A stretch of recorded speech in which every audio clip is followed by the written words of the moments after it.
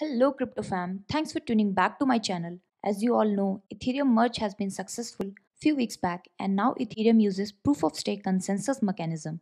Now I wanted to discuss replay attacks today as Ethereum proof of work chain has been forked and some miners want to continue with proof of work consensus mechanism chain. Now if you want to interact with proof of work chain, you might lose your ether on main proof of stake chain and this can happen via replay attacks. So in this video I'll discuss what are replay attacks and how chain IDs play an important role in protecting from replay attacks whenever new chains are forked.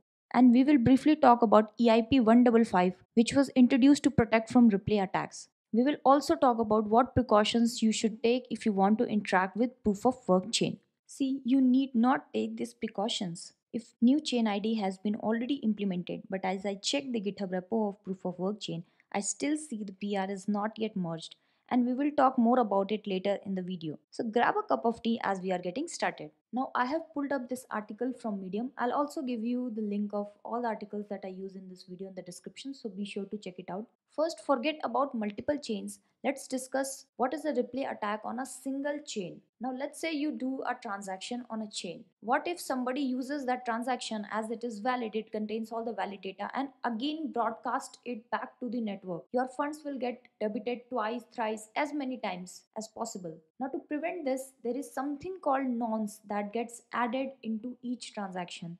So I have opened this link from ethereum.org website and as you can see a submitted transactions include all this information and one is nonce, a sequentially incrementing counter which indicate the transaction number from the account. So essentially if you try to broadcast that same transaction twice your nonce will be similar and that's how the network will know that you are trying to broadcast a already existing transaction. Another thing that the network checks is whether it contains any duplicate hashes. So if your transaction has the same as some other transaction then also that transaction will get rejected.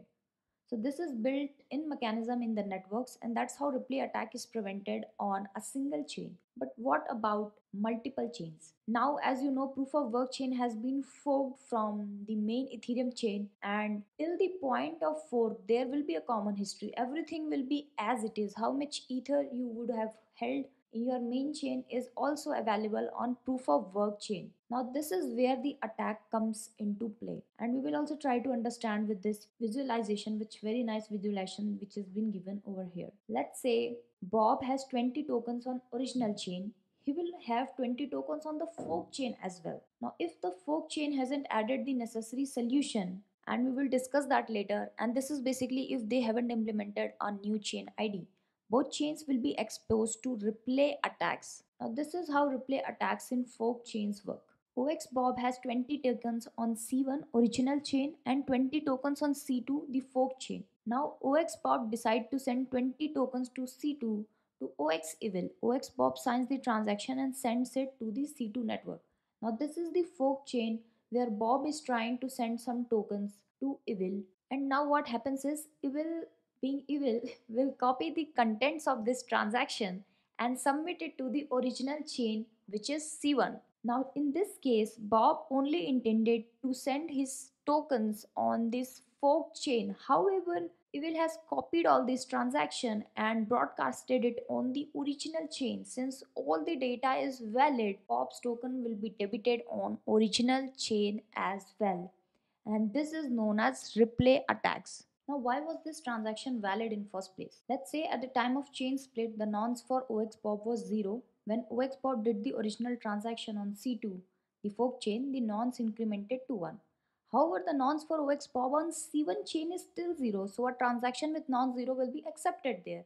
And similar is the case of hash of the copied transaction. Since this transaction is happening first time on the original chain, it will be accepted as a valid transaction on the original chain. Now to prevent this, EIP 155 was launched. When Ethereum and Ethereum Classic split to prevent the replay attacks, EIP 155 was introduced in which a unique chain ID was introduced for all the EVM based chains. So if all the chains have different chain ID, then the replay attack simply cannot happen because you cannot replay the transaction of one chain onto other because both have now different chain IDs. Now I want to show you this GitHub repo of Ethereum proof of work chain. And as you can see this is ethereum proof of work.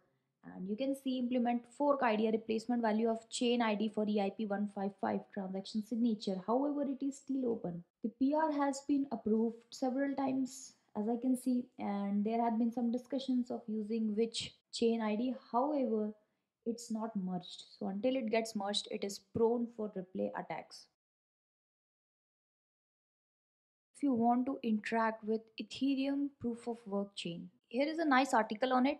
I will give you the link in the description. You can read more in detail about it. But one thing that you should do is you set up a new wallet and then perform transaction between these two wallets. Even if these transactions get replayed, it's your own wallet. So that is one way you can actually do transactions if you want to do anything on proof of work. Just make sure to create another new wallet which you own and then try to perform transactions between both of these wallets. So that is it for this video folks. In this video we actually covered replay attacks in context of cross chain attacks. However replay attacks can also happen in different other ways which we will discuss in a separate video. And hope you all liked it. If you liked please give a like to this video. Subscribe to my channel. Let me know in the comments how did you find this video? What else do you want to see? And i'll catch you in the next video. Bye bye